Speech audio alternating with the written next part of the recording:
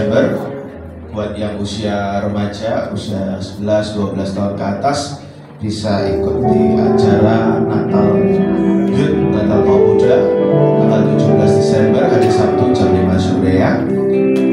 Oke, sebelum kita mendengarkan firman Tuhan, kemudian sama-sama kita bangkit berdiri kembali. Melalui pujian ini kita mau lebih lagi berserah kepada Tuhan dengan segenap hati kita. Dia adalah pembuat mujizat yang sejati. Di dalam kelemahanku sempurna kuasamu